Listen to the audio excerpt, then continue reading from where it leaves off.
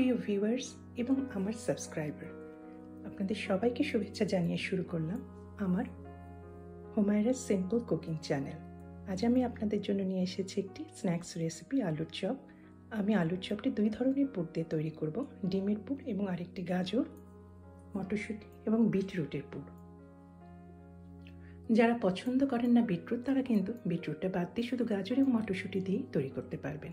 খুব সহজে এবং কয়েকটি মাত্র ইনগ্রেডিয়েন্ট দিয়ে খুব মজাদার এই লাটিমের মতো দেখতে আলুর চপটি তৈরি করে ফেলতে পারবেন। তাহলে আসুন আর দেরি না করে আমরা শুরু করি মজাদার লাটিমের আকারে আলুর চপ। প্রথমে আমি একটা ননস্টিক ছোট প্যান বসিয়ে দিয়েছি চুলায়। এখন এতে আমি দিয়ে দিলাম এক চা চামচ পরিমাণ তেল।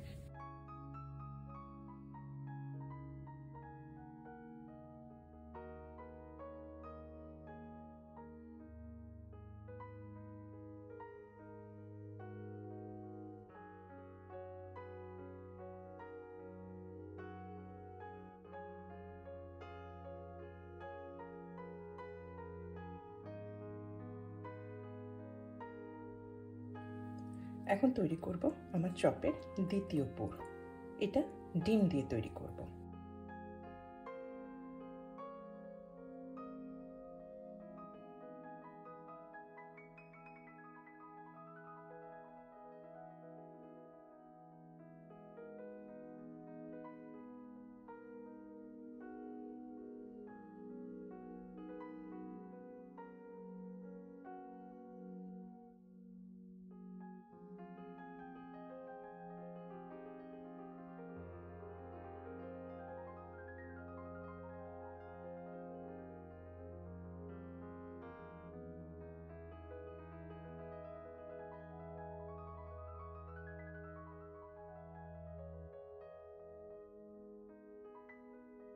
এখানে এক কিলো পরিমাণ আলু আমি চোকাসহ সিদ্ধ করে নিয়েছি।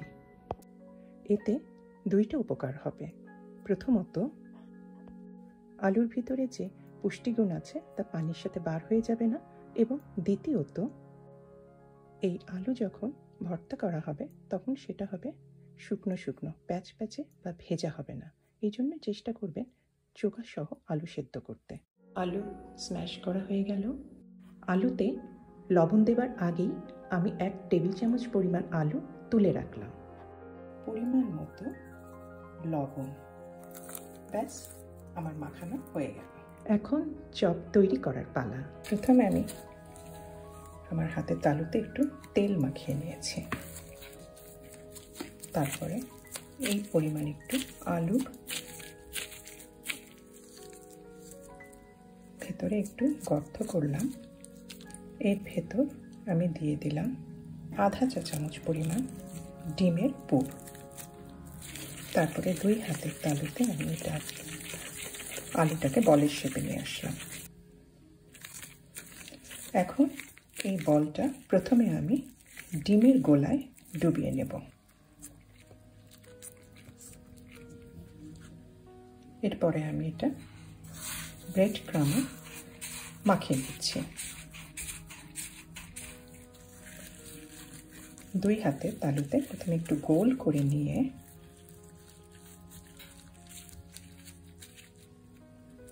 এইভাবে এক দিকটা একটু সরু করে চোখা করে নেবেন। অনেকটা লাটিমের মতো।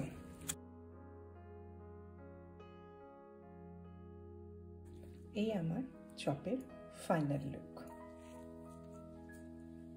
আমি আর একটি দেখে দেখিয়ে দিচ্ছি।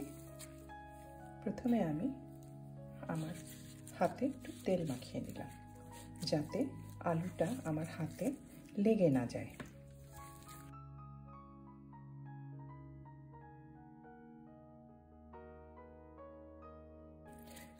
এই আলুতে যেহেতু কোনো ব্রেড ক্রাম ব্যবহার করেনি, এই কারণে আলুটা কিন্তু খুবই স্টিকি এবং প্রচণ্ড নরম। এই কারণেই আপনারা সবসময় হাতে তেল লাগিয়ে এই চট তৈরি করবেন।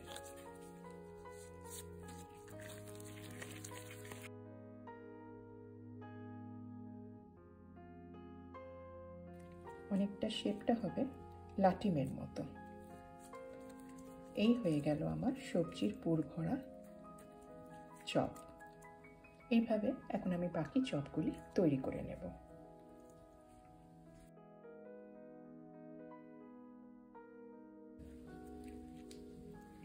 হয়ে গেল আমার চপ তৈরি করা।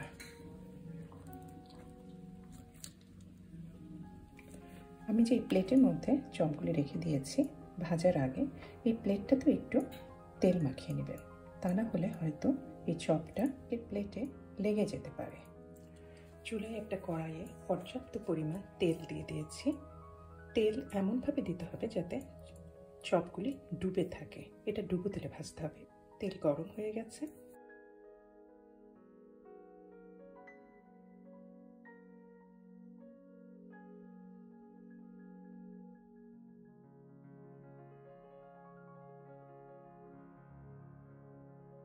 যে চপগুলি আজকে ভাজা হলো না, সেগুলি আমি এখন ডিপে রেখে দেব দুই ঘণ্টার জন্য। যখন সেগুলি সম্পূর্ণ শক্ত হয়ে যাবে, তখন আমি একটা জিপ লক ব্যাগে ভরে সংরক্ষণ করব ডিপ ফ্রিজে মাস দুয়েকের মতো।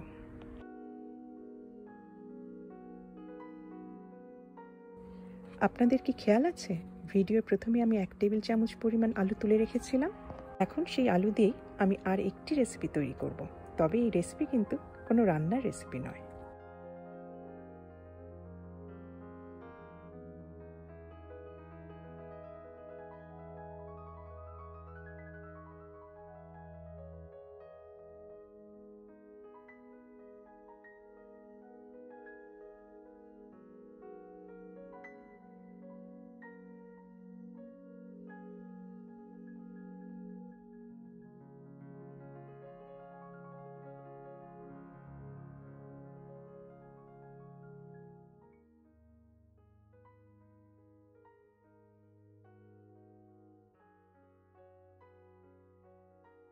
কেমন লাগল আমার রেসিপি কমেন্টে জানাবেন। অবশ্যই তৈরি করবেন।